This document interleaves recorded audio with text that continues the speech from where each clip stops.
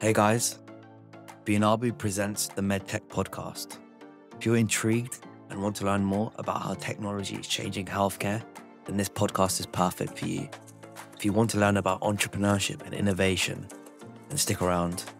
My name's Ash, and welcome to the conversation.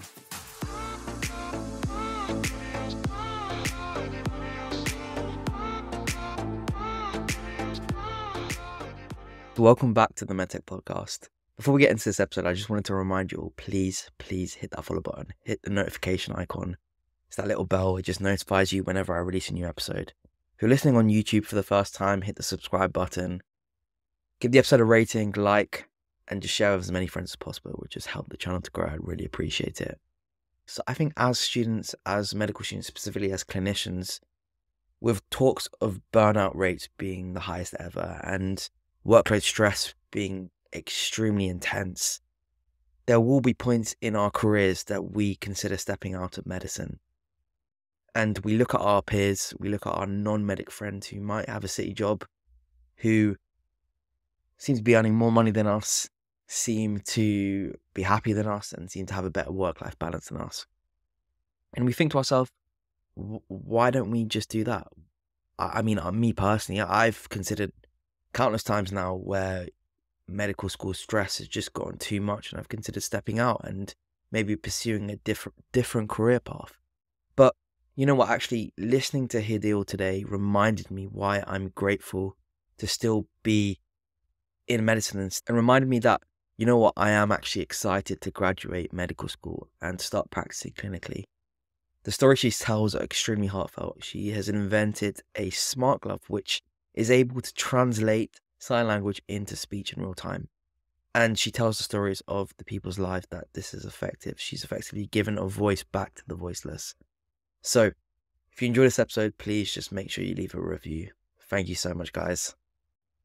Really great to meet you, Hadeel. So, I have an amazing guest joining with me today. She is the CTO and founder of an amazing, amazing company. They built an AI driven smart glove, which is the first in the world, if I'm correct that translates any sign language into any spoken language and it allows sign languages to communicate directly to others without the assistance of an interpreter and it honestly it's just empowering the people who don't have their own voice who aren't able to communicate for themselves. So it's really great to meet you Hadeel. Why don't you introduce yourself to our listeners? Yes you got that all right the best introduction i've had so far. My name is Hadeel and I'm the founder of BrightSign. BrightSign started as an academic project when I was doing research and PhD at University of London.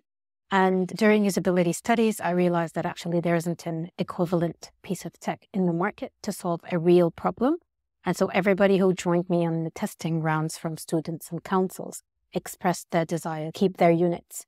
And so I felt like maybe I should try myself at the entrepreneurship world and take this further into a commercial product. And that's what I've been doing in the last two years. Sure, really great. And I think communication is one of those things that is obviously taken for granted with everyone because we're just brought up doing it. When people have children, obviously they get excited with the first step, but then also the first word. And with communication, it's, it's how we, how I guess we relate to people on a personal level. We get to know someone through communication. And so I think we take that for granted. And when someone has a disability where they don't have the skills to communicate with someone effectively, it almost isolates them. And I love having done the research on what BrightSign has been doing is the fact that I guess your proposition is your aim is to give a voice to those who can't speak, which is yeah. really great. So it'd be great to hear a bit about you first before we get into how BrightSign was formed. So take me all the way back to your university days. You, unlike most of my guests, don't actually have a clinical background. A lot of the guests that come on are doctors but you're a bit different. Yeah, so I did a BA at, in uh, design and I was really focused on digital design. So creating virtual spaces, having people experience different environments virtually before actually translating that into the physical world. And I became more focused on us humans moving within the space. How can I my movement so that I can interact in my virtual space? And so after I finished the BA, I decided to focus more on programming, but creative programming or programming for artists. So I didn't have to have a computer science degree for that. And I came to the UK actually because that was one of the few universities that provided that kind of training. And once I finished my master's in programming, I became a bit more greedy and said, okay, I want to focus more on the hand. How can I translate my hands? Because I wanted to be able to create my own art and design pizzas within 3D space. And I wanted the air to be my canvas. For PhD, I just focused on the hand. How can I translate my hands into the space and know what it's doing? Uh, during that time, Goldsmiths was putting together a team to send to IBM headquarters in South Korea and it was for a hackathon to use a new software IBM was trialing. And it was to create some kind of product with artificial intelligence, but to serve a social problem. And because I spoke sign language and I was doing research on translating hand, I decided to translate, translate sign language to speech. And so I implemented their software, which was translation in general, to translate my hand movements and sign language to English and then to South Korean and different languages and that just worked. And I yeah. won that competition. And the media coverage that they had really was the reason I continued in this area because all of a sudden I, came back to London five days later and I found that there are requests from my embassy. People are trying to get hold of me to tell me that they love. And a lot of speech therapists, a lot of families, emails from America, from Australia, from all over Europe saying, I have a kid that's nonverbal how can I get my hands on the glove? And I'm like, okay, this was a one off project. What am I going to do? Am I going to continue doing this? Am I going to continue doing virtual interaction with art? And that wasn't an easy choice because I was already six months into my PhD. But then I woke up one day and I got a video from a mother, and her son was signing on the overground, and the people weren't understanding him. And she said, If you give me a glove, he can now go out on his own. And that was it that was the decision making point for me, which is I'm going to dedicate three years of PhD research into developing this from a one off project to actually something usable and durable enough for people to use it for everyday communication. That's how I started in design and ended up in um, sure. sign language translation. The healthcare angle came a little bit after that when I implemented AI, allowed the glove to learn from each user their own unique hand movement, which meant that it can now be used for any condition where a voice was lost for a limited time, if they are like intubated, or if they are older and they had a stroke and don't know sign language, and then their hand movements are very limited, it means they can use whatever mobility they're able to perform some signs to communicate, even if they've made it up. It also means that older people who just lost the ability to speak also can create their own sign doesn't have to be sign language or a specific sign language. It could be any gesture that they remember to communicate a certain need. That's how it just changed completely from just sign language to any healthcare innovation that requires sure. communication using the hand. Yeah.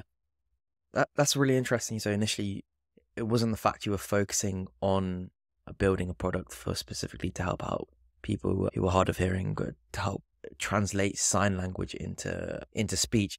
It was the fact that it came about from a hackathon. And so yes. I know BrightSign Glove has won multiple awards. And so how have those awards helped your business? You've alluded to, you've alluded to obviously gaining that recognition and getting people to message you in your inbox. And then also the mother obviously sent you that video. So in terms of progressing your business, would you say that's been an accelerator in driving it forward? Yeah, absolutely. Being a student means there's a lot of competitions open to me because a lot of businesses or councils or government entities want to support and encourage students with bright ideas to commercialize or try themselves in the industry. And so I just applied to every competition that was available for students with innovative ideas. A lot of the awards came with huge media coverage, which created that noise about me and the product and the innovation. But also, some of them came with free office space for a year, which means I have a place to go and work free access to a lab, which means I was able to innovate and develop my prototype. Some of them came with clinical studies attached to them because they had healthcare units. So they already had the patients or the students or access to people who are willing to test my product with all of the required regulation and clearance that can take months to get. Some of them actually came with cash awards, which helped me buy mm. parts, bring on some more help to help me take this further. Some of them assigned me an intern every summer to help me yeah. do work on specific parts of my project. I think the first year I used it to develop smart textiles to embed the sensors with different designs. The second year okay. I used it for developing the application and software that comes with the glove. These are all skills that I don't have myself, but bringing someone Yeah, on board yeah. to help me that is funded by a university, part of the award that I won, was really helpful. Without that support, there is no way I would be where I am today. Yeah, and the only reason I mention that is because I, I'm quite passionate about about hackathons. I think they're a great place to meet people, network, and build your own personal professional skills. I, this opportunity of building this podcast and creating this podcast firstly arose from the MedTech National Hackathon. So I think it's interesting that obviously your idea initially came about from a hackathon. So definitely, yeah, any students out there listening wanting to get involved in the MedTech space, I guess Hadeel is fir- first time example for you guys who are not sure where to begin with if you have an idea, ha- not sure where to begin, not sure where to find a team. A hackathon's a perfect place, a person, perfect environment to grow your solution, grow your idea. So yeah, really inspirational, Hadeel. So it's interesting. So you said initially you, you actually came to the UK. So where did you come to, from the UK? Saudi Arabia. Saudi, and how was that transition moving from training in Saudi Arabia to now coming to the UK? At the beginning, it was very difficult. I've never been to the UK before I moved here to study, not even for Sure. vacation or holiday. It's a completely different culture. I spent a lot of my teenage years in America, which is quite different than the UK Yeah, as well. So there was a different, yeah. lot of learning about the culture, about the food, about public transport, about in time to get from and to places. But once you get into it, you appreciate, especially Mm. for me, the support. People are here to help and they're open hands wherever you go. You just have to learn to reach out and you have to learn to knock on doors. Like the British Library, for example, just had an ad that said, Do you need IP support? Scan this QR code. And I got an appointment with an expert in IP and patenting. Sat with them for an hour. They told me what to apply, what to do. And now I have three patents because of that one meeting. A lot of support available, literally everywhere. And it's very rare to find that where I'm from. Support is not mm-hmm. free ever. You have to be a member in something or yeah, part of that organization in order to qualify for support. Whereas here, if you've got potential, they will help you achieve. Sure. Yeah, really interesting, really great. And so I think it's perfect opportunity now to get on to BrightSign, the BrightSign glove that you guys have been working on for the past how many years? Six, five, six years? More. So initially we're taught as students who are looking to get into medtech side of business, building your own company, building your own solution, you need to focus on the problem first. So let's break down the problem that you initially realized that led to you now developing BrightSign. Yeah. When I when I got that video and realized that there's a lot of people who can't speak and actually a lot of people who don't understand them signing. That's a real, very clear communication problem. And I wanted to see the size of that problem. And then I looked at the numbers and it was 200 and milli- 230 million people around the world who are nonverbal due to Wow. various disabilities or combination of disabilities. And only 2% of them have access to sign language education or assistive technology that helps them communicate. So that's the size of the problem. Now, the Sure, second wow. part of the problem is mm-hmm. why can only 2% of the 230 million people can access assistive technology for communication? And it turned out that there are t- three primary reasons why they can't access technology. One was the cost. All of the technology for communication was basically very expensive, starts at the 2,000 pound mark and counting. None of it is customizable to individual needs. Anybody who works in the disability world knows that disability comes in different combinations. So customizing the tech to individual needs is actually key for, the, for it to be useful. The third one is even if you attempt to create tech that helps with communication only solves one side of the communication problem. So I can use it to communicate, but I can't receive any feedback from the other side. That's how interpreters actually become very important because interpreters can solve the two way of communication. However, there's a huge shortage of interpreters, and usually family fall in that role. A family will mm. always accompany someone who can't speak literally everywhere to help them communicate, interact, which means they can't become independent in making friends, relationships, can't really exist outside of their work environment, school environment, or home environment because they always need someone with them. And there's another layer of aligning your schedule with an interpreter schedule, right? If you have a business meeting, if you have a business trip, and all of that. So I thought, okay, there is a problem and there is a shortage or a gap in the market for this kind of solution. How can I develop something that one is affordable, can be at least half of the cost of whatever's existing. Also complement the shortage in interpreters and solve the two-way communication problem, but most importantly, customizable to individual needs so every person can teach it their own time based on their own needs. That way there is no barrier. And that was Sure. the whole, these were the three research questions in my PhD. And I started solving them one after the other. Some of them were hardware problems, some of them were software problems, some of them were design problems. So it was like a multidisciplinary research project. Really came into light once people started using it. Once I gave it Mm. to people and said, come on, try using it, that's when the real problems were clear to me. And I spent the rest of the three years solving those problems. Yeah. And I think as a student doctor, you only start to appreciate how important communication is when you start practicing clinically, right? When you're with patients and you get a patient, you, you don't appreciate it till you get a patient who can't speak your language and they're trying to communicate with you using, let's say, nonverbal gestures, their hands, and you just don't really understand what you're saying. And there's a, and it takes like half an hour, 40 minutes for then you to get an interpreter to come another 30 minutes plus and then only then can you start having a consultation. And even then when it's you have a consultation with an interpreter present you're speaking through the, the interpreter and you go, don't get that feeling that it is almost a one-to-one conversation a personal connection because it your the communication is having to go through a third party to then go to the patient and then back. And so what I really love about BrightSign is is the fact it's addressing that barrier, but specifically obviously not people who can't who speak a different language, but were people who have disabilities which actually, from no fault of their own, they, they just aren't able to communicate, and so is really uh, making a difference in helping people and giving a voice back, giving a voice to people who otherwise wouldn't have it, and so love how you you identified that as a huge issue, as a huge problem, and you started developing the idea. And so, take me through the process of now you've identified that as a problem. You've realized it's a huge problem and huge need for it, and you've given some statistics. You said 230 million people cannot speak due to whether it is they've been born like that or other conditions. And so, what was the next step for you, having realized the huge need? Where did you go from next? The first thing I did is I reached out to special educational needs schools that are schools dedicated for students who have needs that cannot be integrated in mainstream schools. And I just had a meeting with a couple of them. There was a council that brought in 13 members of school, like 13 different school representatives to talk to me about the challenges the students face every day with their communication. And between them, they had so many different kinds of disabilities and spoke so many different languages of sign language. Sure. And so Yeah. we talked about how can we develop a solution that helps them integrate easier in their environments with their peers and then potentially migrate to normal and mainstream classrooms so that then they can just be in normal mainstream schools and also just integrate more easily in their environments.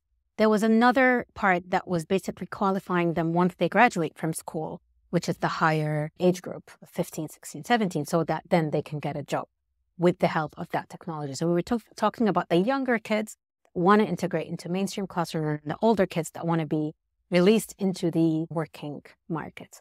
And so together we looked at what they're using. What they're using now was applications on their devices that put together some flashcards and then they press play and says what they want to do. And we said we want something that is social, that helps interaction, that keeps eye contact and feels as close as possible to everyday verbal communication. And that it also needs to help them socially, give them independence, confidence, so that they form their own relationships. And that's how the glove idea came about. I put together some sensors. I wanted to know what exactly am I capturing? What do I need to understand from the hand? How is sign language structured? And so I put up a lot of sensors on tiny little circuit and said, okay, I want to register all of that movement.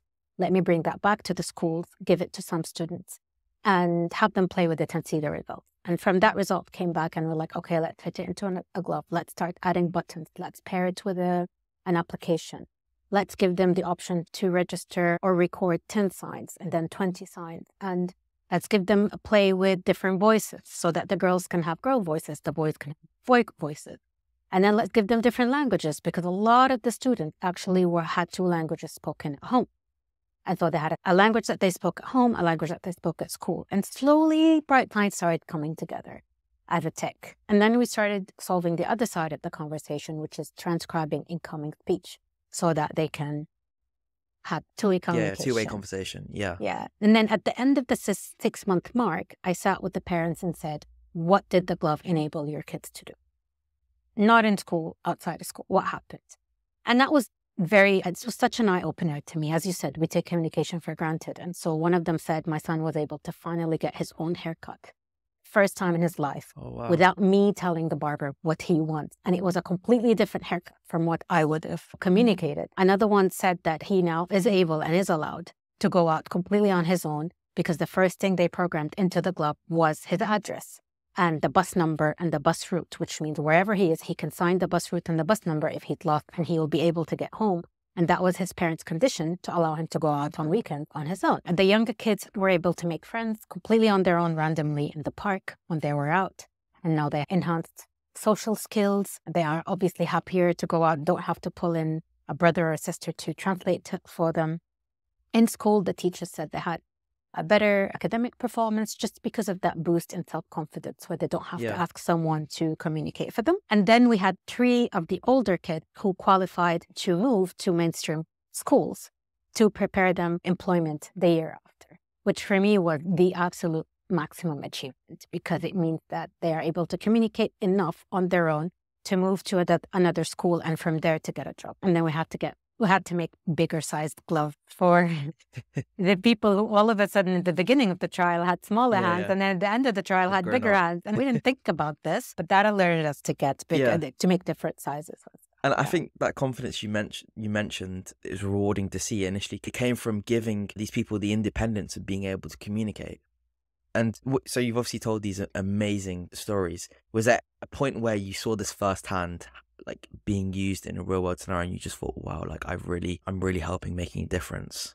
Yeah. So all of the all of um, the kids that use the gloves, the first sessions would be fitting them with the glove, helping them understand how to teach it, and it'll be with their family. And so they always teach it at the beginning with me, a first few signs, so Sure, that yeah, okay. we see if it works or not. Yeah, yeah. A lot of really heart heartfelt moments. One of them was she was four or five years old, and apparently the mom just didn't language at all. And the first thing that our, that the daughter did is sign "I love you, my mom" to her mom, and obviously everybody was crying, but it was really nice to hear that. Some of them decided to program the glove to tell me, "Thank you, this is amazing, and can't wait Yeah. to wait it, use it." Someone said, "The first thing I'm going to do is go get myself a McDonald's," and she made up the sign for McDonald's because there isn't, and she just did that, and that was McDonald's. It's really incredible if you think Yeah, of it. that's it's, it's very simple, but it made such a huge Yeah. From my side, I think what I didn't see coming at the time is the glove being used for different scenarios where privacy was required and people refused to talk with an interpreter in the room. Sometimes the interpreter is the person and the the nonverbal individual is trying to Mm. talk about. Because yeah. if there's if it's their family and maybe they want to talk about that, they can. Or in the investigation or Sure. a court or as you said, in a clinic when they just don't want an interpreter in the room because they want to have that privacy with their doctor. In these situations, a lot of those schools had social workers that came to me and asked for units to be completely blank, left with them for cases when students come and want to talk and don't want an interpreter with them. Sure. Yeah. And so you've alluded on to also different iterations of the BrightSign glove. I know before we, we started recording, I I was telling you about how I was doing some research and w- when BrightSign first came about, and I saw the first iteration, the first prototype that you were using, and then seeing some videos that were recorded a bit more recently and how it's changed drastically. So it'll be interesting from a development point of view if you could break down the process of prototyping. Yeah. So in the beginning, I was doing everything myself in the lab. I just bought the components off one of the electronic shops and then a lot of trial and testing and burning parts. And the circuit was pretty much a lot of components, but a lot of wires connecting them to a circuit that I just put together. Eventually, I had to refine it and make it smaller and more wearable and more durable because the first thing the kids do is pull on these wires. Yeah. It's fiddly, it looks attractive, it looks like an, a robot hand. Everybody pulls wires. So no gloves used to come back from testing intact. I have to spend a lot of time putting them back together. So I had to find a solution to encapsulate the circuit and to get rid of the wires and have everything on one circuit Yeah. board. And then everything like soldered on and encapsulated. But they can't reach it. I didn't have the skills for that. And so I found someone who was a, I think he was specialized in making circuits. And I just went to his lab. We sat together. I gave him my drawings and I said, Can you put this all onto one board and no more wires, solder everything on. And he did that, and I paid for that from one of the grants actually that I won one of the competitions. And once I had that one nice, pretty, literally one piece of plastic that looked like a hand, and all of the sensors and all of the computer chips were basically incorporated within that design. Yeah. I then went to a, can I say, a custom print maker, I think yeah, yeah, they're yeah. called. And I brought that glove with me, like circuit, and I said, can we embed this into a design for a glove? Simple glove, simple design. I asked each of the children what is their favorite character, and I sewed on, had a 3D printer, and I created those on to patterns that I printed on the gloves. And that was the first gloves that actually went to families and they were able to use it for six months. When it came to commercializing, however, I couldn't take this into market because each of those gloves involved a lot of work from myself, from the circuit maker, from the custom pattern maker. And that was very expensive and it took a week to make. So I think at the time I applied to an accelerator that was dedicated for hardware projects. And part of that accelerator, they took us to China to look at manufacturing facilities. And the result of that trip was I can't manufacture in China. From my side, I took my circuit, I tested it in every factory they took up to visit, and I didn't get durable or reliable readings to help me or make me feel confident that I can manufacture in China. Later that year, I was exhibiting at the Wearable Technology Show, and the the we were like desks for small startup companies. Yeah. And the one exhibiting next to me was sensors, just the same kind of sensors I'm using in my glove. And I said, Can I use your sensors? And they're like, It's cheaper if we make the circuit for you. And they ended up being my commercial partner where I gave them the drawings and they are taking care of from A to Z, creating those circuits for me, embedding it in my own textile design, putting my branding on it, and giving it back to me so that I can pair it with my app and then offer it. And so from there on, I stopped being a hardware startup and focused on software development, which actually took the product to a whole other level and made me attractive for investors because investors don't like to pay money for research and development. That's what government grants are for. They like Yeah. to pay money for something that the upfront cost is very low, like software, but then the scaling up is very high. And I only Mm. became investable actually when I changed my approach and outsourced manufacturing. But that was, yeah, over two or three years. It wasn't a very easy or speedy process. Before we get into the transition of the company taking more of a software approach, and I guess that's where you started incorporating AI tools into the software, into the glove. Before we get into that, it'd be interesting to hear from your perspective, developing the glove in the early stages, how important it was for to protect the IP of the glove and your challenges that you faced in obtaining a patent, stuff like that. Yeah. Writing a patent of this kind was very challenging because the, the, the technology exists for different applications. There's smart gloves for gaming, the smart gloves for rehabilitation, for motion capture. So idea of a smart glove is not new. It's the Sure. application and the design of the circuit and then incorporating AI. And the idea of having it translate gestures, custom gestures, that's where the IP really was. And so for me to frame that, I, I sat with a lot of IP experts. One of them was the British Library gentleman. I got some support from my university that was helping with IP as well until I was able to frame how I was going to approach this novel idea. And I feel like every time I applied for investment, they always asked if I protected my IP. So they care about development and where I am in the development cycle, but they care more about protecting the idea because they don't want to put their money on something that anyone else can make. So I was very aware of that right from the beginning, and they went in parallel. I was working on the patent, and at the same time, I was working on development. And they actually came together at the same time. So while I was re- being ready to launch the product, that's when we got the first notification that the, you know, the examiners in the patent office finally approved the final draft because of, there was a lot of back and forth, and Mm. that it was then being for uh, publication. And after publication, three months, I think, when no one complains about it, that's when it's granted. So I Sure. think so. Anyone working on their medical device at the moment, what advice would you give them if they're looking to submit a patent? I would advise them to try to do it themselves if they can, because I found it very expensive to have a firm do it for me. So in the beginning, I wrote all the documentation as much as I could on my own. And I did take benefit from all of the free services that different IP offices offered, especially for students. There's a lot of free services for consultation and coaching. I only actually had to pay the fees for the filing, which you have to pay anyway. Eventually, when we did get funding, we did hire a firm to file subsequent pat- patents and to file abroad as well. But if you can get away with it on your own in the beginning, do because protecting your idea is very important and it takes time. So from the date of submission, I only got it granted about about two years later, but you get the protection from the date that you filed. So don't ever think that it's too early to file as soon as you possibly can. Sure.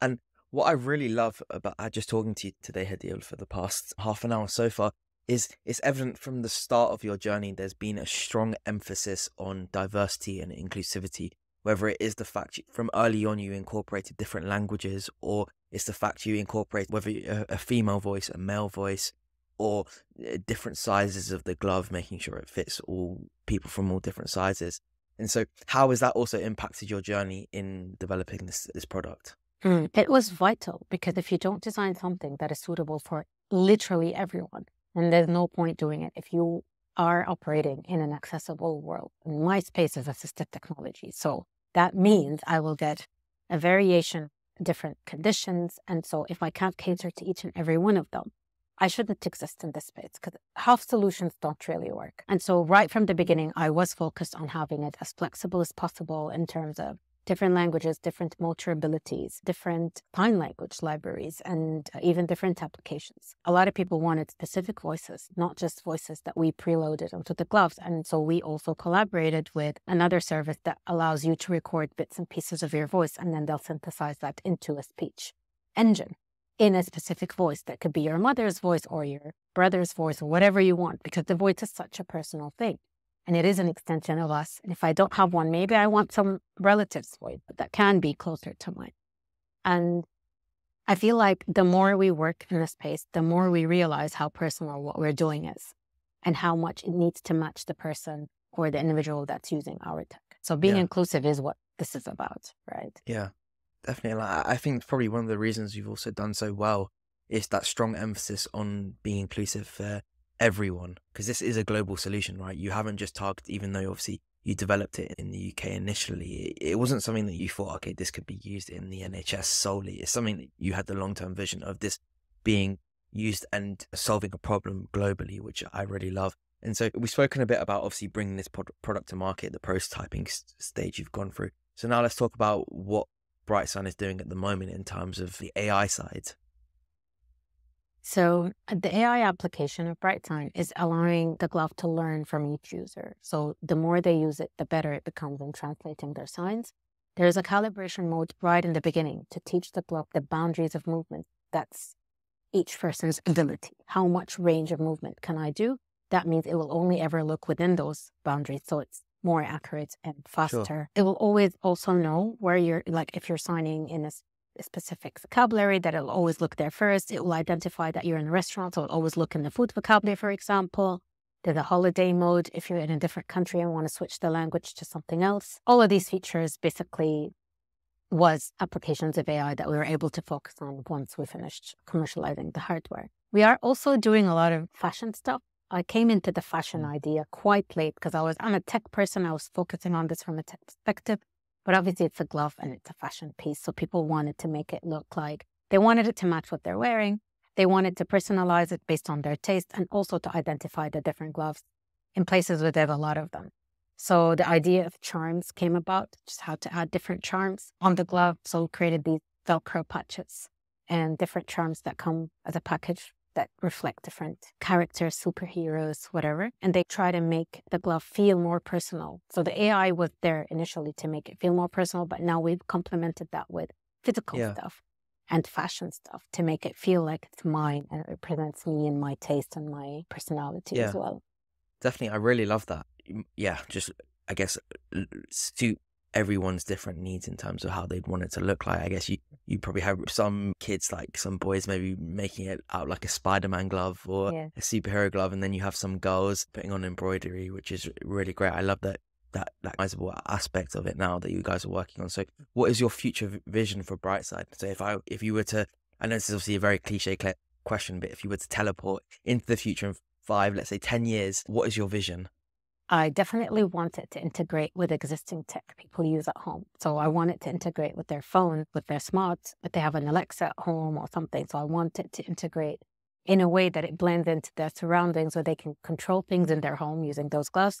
If they're using wheelchairs, they can control the wheelchair just using gestures in the glove. So basically integrate with their surroundings to make them more in control of whatever smart tech they're using already in their everyday lives. We are working on that. It's working because it signal it, uh, does yeah. work, but there's some there's some things we need to test before that.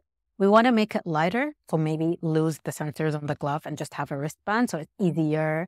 It's not as obvious. Make it much more affordable as well, because the most expensive components in the glove now are the sensors around the finger. So having it lighter, like a band, will make it more affordable, will make it less obvious, will make it much easier to keep and store and use, will make the battery last longer, make it also easier to integrate with existing tech. So, invent like invisible tech for communication is really what I'm envisioning, envisioning sure. now. Um, yeah, I think what's really excited me about what you just said is the smart home aspect. So I'm quite tech savvy in terms of in my room. I have, I, I don't want to say Alexa's name because I'm scared she's going to go off. But so I, yeah, I have an Alexa in my room, and then the Alexa's connected to all the different lights in my room, my Dyson fan, stuff like that. And so when I go to sleep, I'm like, oh, like Alexa, turn off the bedroom, and then all the lights go off. So it'd be amazing for from a bright side perspective, it, sign perspective, if you could integrate that into the future of a smart home in terms of the light yeah. systems, the temperature of the room, eh, just everything like that. I can see that being yeah revolution revolutionary that people aren't that for people that aren't able to communicate through through their voice. So really exciting. And in general, where do you see the wearable tech industry moving? How do you see it evolving into the future? I see wearable tech being used as an essential part, just like our phones was in the beginning a luxury, it's now a necessity. I feel like wearable tech will become a necessity. A lot of people now cannot survive without their Fitbits or smartwatch or whatever. They're used to knowing how many steps they did every day. They're used to something monitoring their heart and their pressure and all of that. It's very similar because then you can get more feedback from the body to those smart techs that you're already using that gives you a little bit more information about your training, your fitness, your sweat, whatever. If you're wearing yeah. a smart suit, I just I can see that it will become an essential, just like everything else that was new and then became essential later on. Just part of us moving into a more more smart world and being mm. more connected with our vitals from a bioscience point of view. Yeah, and Hadeel, it's been really amazing speaking to you. I think you're a huge inspiration to anyone out there who is looking in, in to get into the medtech health tech space, specifically from a student perspective, but also for anyone, whether you're a junior doctor or you come from a non traditional healthcare background like yourself. You didn't necessarily train, train to do medicine, but you know what? You're, you're impacting the life of lives of patients. And so I know I, I initially reached out to you because you'd been, you were giving a talk for uh, the MedTech Society in UCL, and the talk was themed around uh, women in medtech. And I wanted to give you the opportunity to give some advice for any young girls out there who are aspiring to get into medic, medtech and start their own business. I'd absolutely say if you have an idea, do pursue it and try it out. You you will not fail because you will learn if it doesn't go right and then you can deviate or it will go right and you will learn some more as you're building it. Definitely give it a go. There is no dumb idea or not doable idea. A lot of people told me at the beginning of the glove, this is not doable it's not doable. A lot of people tried and failed. Doesn't mean that it's not doable. It means that there is another way and those people didn't figure it out.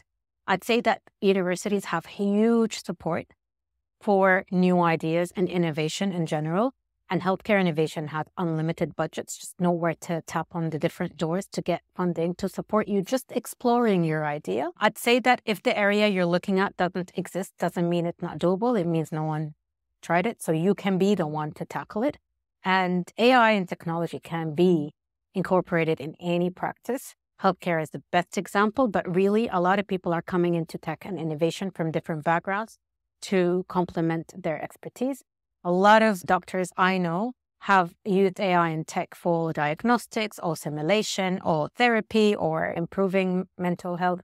So there is no limit and there is no, if your idea is crazy, that is the best kind of idea. Go for it and try it. Yeah.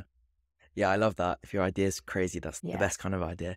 And yeah, so I, I said obviously give some inspirational words to any young girls out there, but in, in fact, actually, I'm asking you to give some inspiration to anyone because you are a huge role model. It's the fact that you obviously came from Saudi Arabia, Arabia initially to the UK, had to get used to the uh, accli- and climatize to the, the culture and then build your own solution in a new environment, scale that solution globally. So I think you're a huge role model to not only young girls and women, but just to everyone. So if anyone wants to re- reach out to you, pick your brain, what's the best way they can get in contact and learn more about BrightSign and all the amazing things you're doing? They can email me.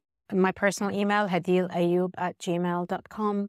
They can visit my website and do the contact us sheet. It comes to me and I can, I would usually reply. I do have a lot of one to one sessions with students, like after a call like that, when I did the talk at UCL, a lot of students reached out to me that had ideas and didn't know how to approach it.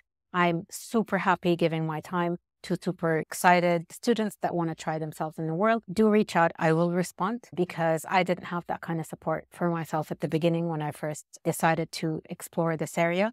So I'm very happy now to be part of that network to help the next idea get Yeah, into great. the world. And it's been amazing have you, having you. Honest, honestly, just your story is just amazing and it's inspirational. Honestly, Hadeel. Any last thoughts? Any final call of action for our listeners? Just a key takeaway. I'd say that it is very normal for things you want to do to be very difficult. That, that, that, that doesn't mean you're doing it wrong. It means you're doing it right. If it's easy, it's not challenging enough, and that means it's not worth it. So definitely expect a lot of hiccups and dead ends. All it means is that you have to change your approach. Doesn't mean that you're doing anything wrong. Sure, that's really great. And it's been a pleasure having you. Thank you so much. Same here. Thank you for having me.